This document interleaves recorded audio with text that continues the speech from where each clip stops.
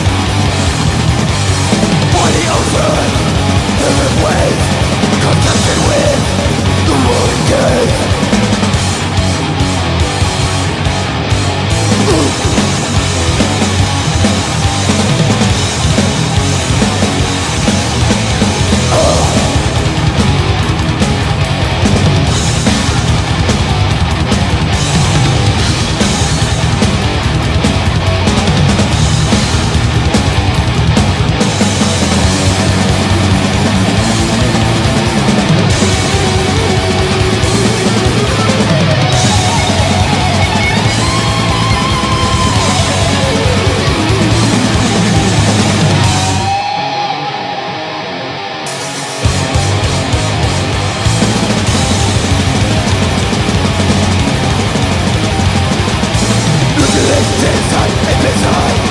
Overdosing to the whip, cause you're